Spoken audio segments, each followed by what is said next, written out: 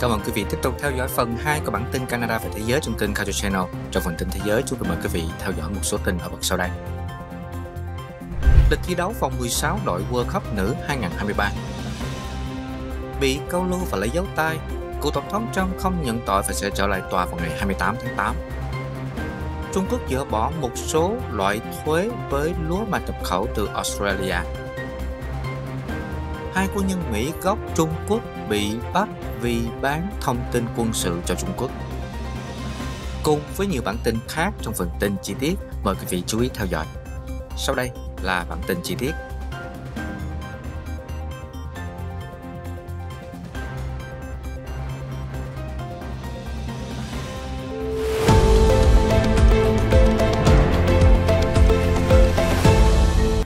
Lịch thi đấu vòng 16 đội của World Cup nữ năm 2023 8 trận đấu của vòng 16 đội nữ sẽ bắt đầu từ ngày 5 và kết thúc vào ngày 8. Rất nhiều cặp đấu hứa hẹn rất hấp dẫn. Ngày 5 tháng 8 sẽ diễn ra hai trận đấu ở vòng 16 đội World Cup nữ 2023, đó là đội tuyển Thụy Sĩ gặp Tây Ban Nha và đội Nhật Bản chạm trán với Na Uy. Và ngày 6 tháng 8, hai trận tuyển nữ Hà Lan, Nam Phi và Thụy Điển, Mỹ Đến ngày 7 tháng 8 thì đội tuyển Anh sẽ gặp Nigeria, còn Úc sẽ gặp Đan Mạch. Và 16 đội khép lại với hai trận Colombia, Jamaica và Pháp chạm trán với Morocco. Vòng 16 đội World Cup 2023 sẽ chứng kiến nhiều cặp đấu thú vị. Trong đó, hai ứng viên vô địch là đội tuyển nữ Mỹ và Thụy Điển sớm gặp nhau. Các cặp đấu giữa Nhật Bản, Na Uy, Australia, Đan Mạch, Colombia, Jamaica Tây Ban Nha và Thụy Sĩ được đánh giá là khá cân tài cân sức. Tuy vậy cũng có một số cặp đấu khá chênh lệch về sức mạnh như là Hà Lan, Nam Phi, Pháp, Morocco, Anh, Nigeria. Tuy vậy không có gì bảo đảm là các đội bóng mạnh hơn sẽ giành chiến thắng khi World Cup nữ 2023 quá dễ xảy ra bất ngờ.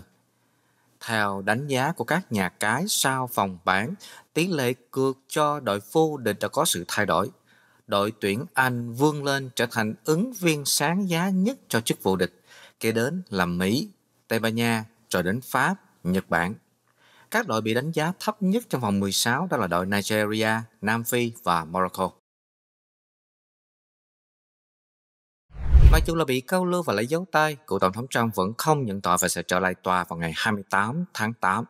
Cựu Tổng thống Donald Trump bị tòa câu lưu và lấy dấu tay nhưng không bị công khi ông trình diện ở cơ quan tư pháp liên bang ở Washington, D.C. hôm thứ Năm ngày 3 tháng 8 sau khi bị truy tố âm mưu lật ngược kết quả bầu cử tổng thống mà ông thua cho ông Joe Biden hồi năm 2020.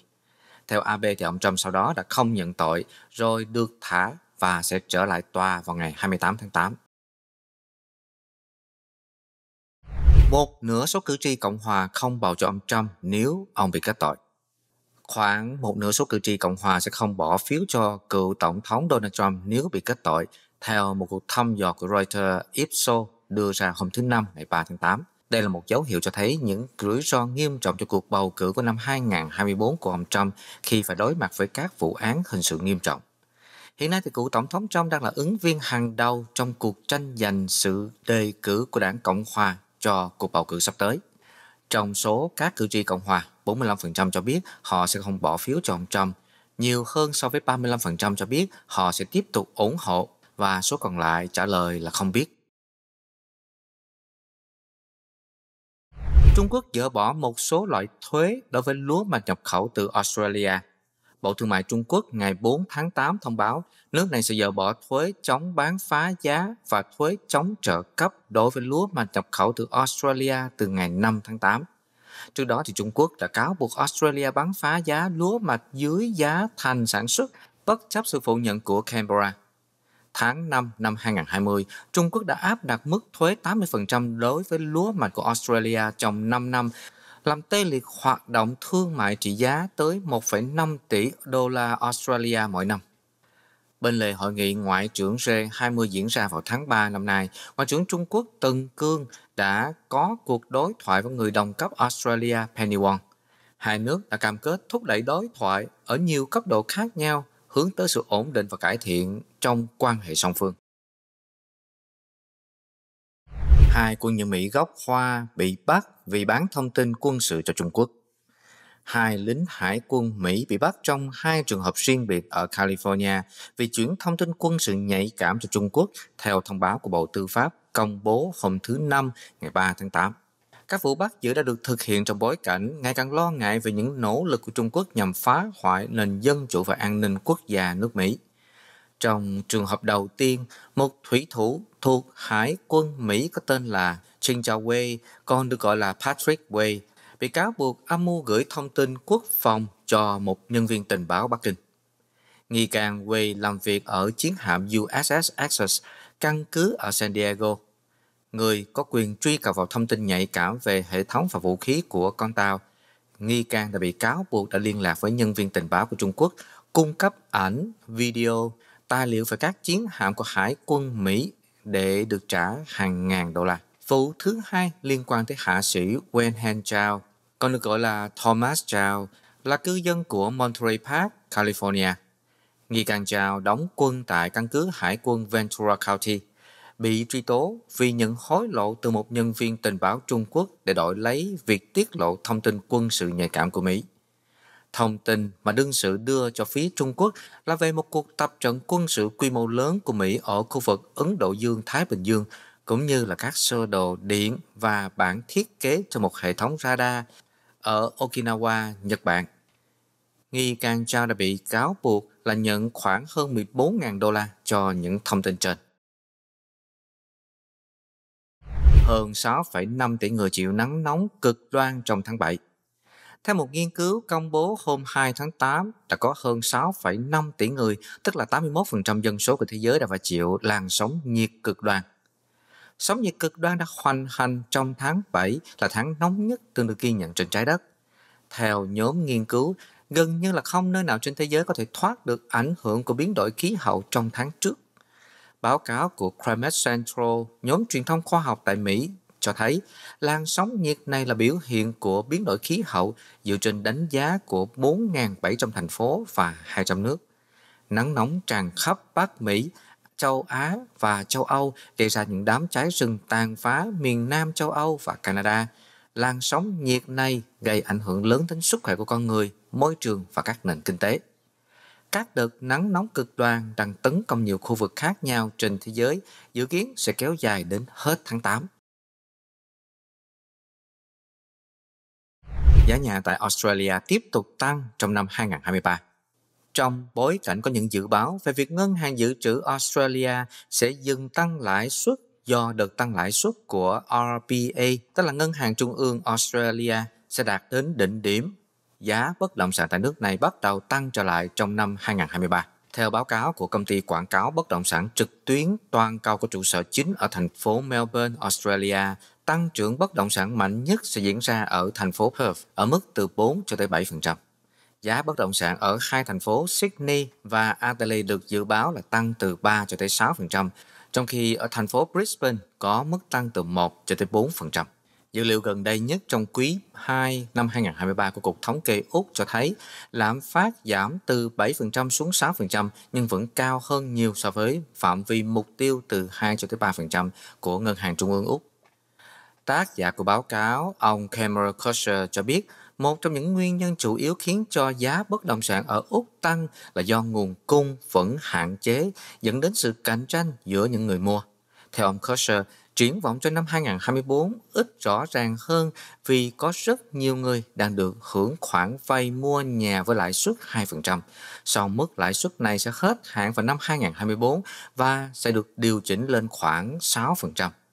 Tại thời điểm này, Ông dự báo là giá nhà của Australia trong năm 2024 sẽ tăng ở mức khiêm tốn, trong khi các chuyên gia đang bất đồng ý kiến về việc liệu có tăng lãi suất thêm nữa hay không. Chuyên gia kinh tế cấp cao của công ty dịch vụ tài chính AMP, bà Diana Mausina, cho rằng dựa trên các lần tăng lãi suất trước đây của Ngân hàng Trung ương Australia và những lo ngại về lạm phát mới nhất của thống đốc Lowe, Australia vẫn chưa thoát khỏi tình trạng khó khăn. Ngân hàng lớn nhất của Italy tuyên bố đóng cửa văn phòng đại diện tại Nga. Vào ngày 2 tháng 8, một người phát ngôn của Intesa San Paolo, là ngân hàng lớn nhất của Italy tính theo tài sản tuyên bố ngân hàng này sẽ đóng cửa văn phòng đại diện ở Moscow nhằm giảm sự dễ bị tổn thương của họ với Nga. Theo báo cáo năm 2022 của ngân hàng Intesa San Paolo, họ đã hoạt động tại Nga trong 48 năm qua với 27 chi nhánh và 907 nhân viên của mạng lưới chi nhánh khu vực trải dài từ khu đất Kaliningrad của Nga ở Đông Âu đến thành phố Vladivostok ở Viện Đông. Alibaba ra mắt hai mô hình AI mã nguồn mở. Vào ngày 3 tháng 8, tập đoàn công nghệ Alibaba của Trung Quốc đã công bố hai mô hình trí tuệ nhân tạo, tức là AI, nguồn mở nhằm cạnh tranh với mô hình tương tự của Meta.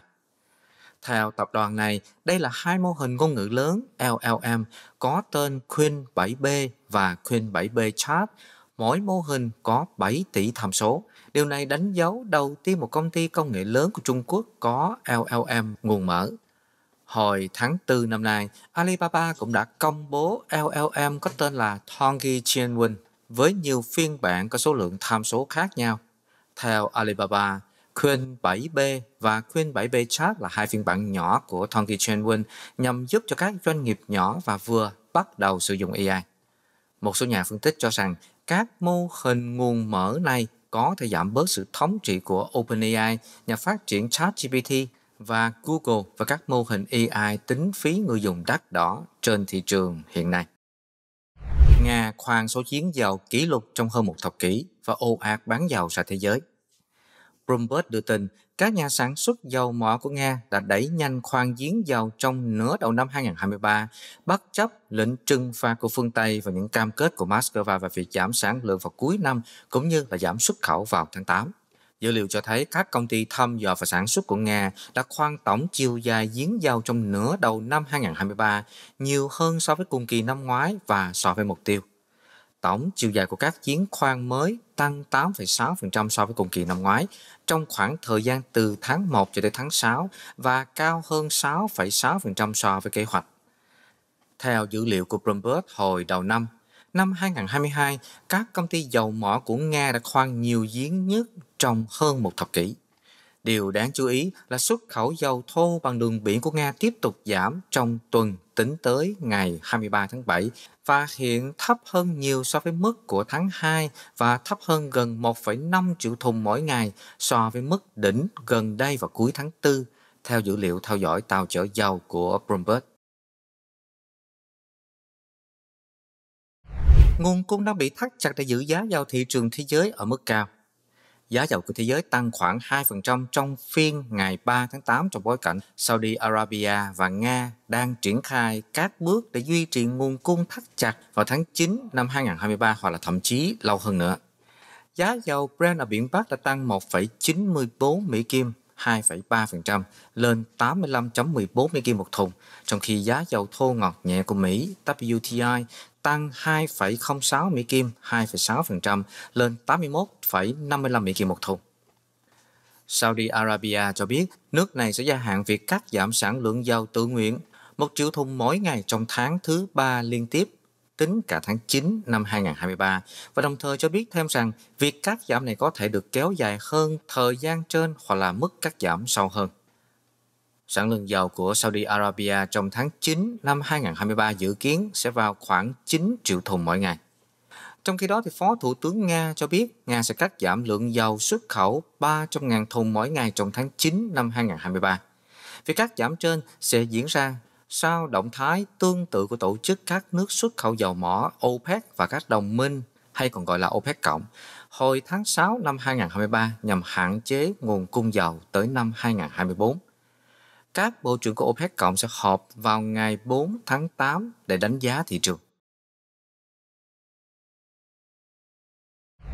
Thái Lan giữ nguyên mục tiêu 200 chuyến du lịch nội địa trong năm 2023. Tổng cục Du lịch Thái Lan gọi tắt là TAT tin tưởng du lịch trong nước sẽ đạt được mục tiêu 200 triệu chuyến trong năm nay, mặc dù mức tiêu thụ hàng hóa ở trong nước ảm đạm. Một cuộc khảo sát của Phòng Thương mại Thái Lan cho thấy nợ hộ gia đình ở nước này năm nay đã tăng 11,5% so với cùng kỳ của năm 2022 là mức cao nhất trong 15 năm. Trong khi Hiệp hội các nhà bán lẻ Thái Lan dự đoán chỉ số tâm lý bán lẻ sẽ tiếp tục giảm, phản ánh sức mua yếu hơn. Trong 7 tháng đầu năm nay, khách du lịch của Thái Lan đã thực hiện 135 triệu lượt du lịch trong nước, trong đó có 76,5 triệu lượt lưu trú qua đêm và 58,6 triệu lượt đi trong ngày. Những hoạt động đó đã tạo ra 478 tỷ bạc, tương đương với 14 tỷ Mỹ Kim cho nền kinh tế Thái. Để thu hút khách du lịch Thái Lan đi du lịch trong nước thay vì là ra nước ngoài, Tổng cục Du lịch Thái Lan đang khuyến khích mọi người hãy đi du lịch quanh năm với chiến dịch quảng bá giới thiệu Thái Lan trong cả 365 ngày trong năm với nhiều hoạt động đa dạng, chẳng hạn như trải nghiệm du lịch chữa lành và chăm sóc sức khỏe bằng các sản phẩm cộng đồng địa phương. Lại xảy ra tấn công bằng dao tại Nam Hàn. Theo hãng tin Yonhap, ngày 4 tháng 8, một vụ tấn công bằng dao đã xảy ra tại trường trung học ở trung tâm thành phố Daejeon, Nam Hàn. Trong đó, một người đàn ông không rõ danh tính đã đâm một giáo viên rồi bỏ chạy. Nghi phạm được xác định là nam giới ở độ tuổi từ 20 cho tới 30. Cảnh sát cho biết vụ việc xảy ra vào khoảng 10 giờ 3 phút ngày 4 tháng 8 giờ địa phương tại một trường trung học ở quận Daedap ở Daejeon, cách Seoul 139 km. Nạn nhân ở độ tuổi 40 ở trong tình trạng bất tỉnh đã được chuyển đến bệnh viện. Cảnh sát đang nỗ lực để truy bắt nghi phạm. Vụ việc xảy ra chỉ một ngày sau vụ đâm dao và đâm xe nghiêm trọng ở ga tàu điện ngầm Chohyang thuộc khu Pundang, phía nam của thủ đô Seoul, khiến cho 14 người bị thương. Và đến đây thì bản tin Canada và thế giới trên kênh Culture Channel sáng nay xin được khép lại. Chúng tôi rất cảm ơn sự quan tâm chú ý theo dõi của quý vị và đừng quên bấm like để phản hồi giúp xây dựng cho chương trình này ngày một tốt hơn. Mời quý vị đăng ký kênh, bật chuông thông báo để nhận được các bản tin mới nhất. Thay mặt cho ban biên tập, Tuấn Liêm xin kính chúc quý vị và các bạn nhiều sức khỏe và an lành và hẹn gặp lại quý vị trong bản tin kỳ sau.